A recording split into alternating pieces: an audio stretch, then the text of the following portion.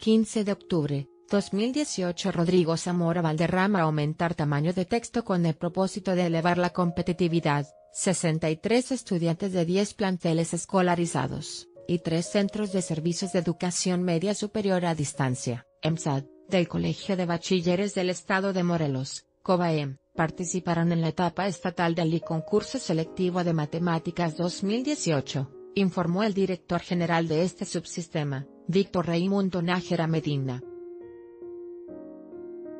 Explicó que estos estudiantes obtuvieron los mejores resultados en las eliminatorias realizadas en las tres regiones donde se ubican las unidades académicas del COBAEM, de acuerdo al cómputo realizado por la Asociación Civil C. Cúbica, responsable de la evaluación. Nájera Medina precisó que de la etapa estatal saldrán los alumnos que conformarán la representación de este subsistema de educación media superior que asistirá a los diversos concursos de la especialidad, entre los cuales destacan la Olimpiada Mexicana de Matemáticas, Pierre Fermat, entre otros.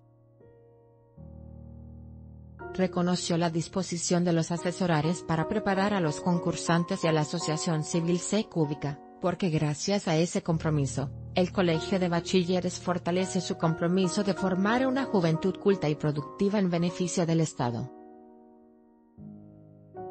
Los participantes de la etapa estatal del concurso selectivo de matemáticas 2018, realizado en el Parque Ecológico Acapantzingo, son de los planteles 01 Cuernavaca, 02 Jutepec, 03 Oacalco, 04 Cuautla, 05 Amacuzac, 07 Tepalcingo, 08 Tawixtla, 09 Atlatlaucan, 10 Santa Rosa 32 Xochitepec, así como de los EMSAD 05 Hueyapan, 06 Jumiltepec y 09 Michapa.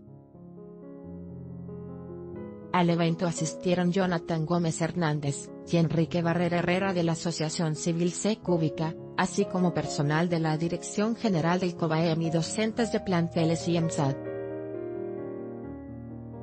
Visit the Docho Times, on Visit Today.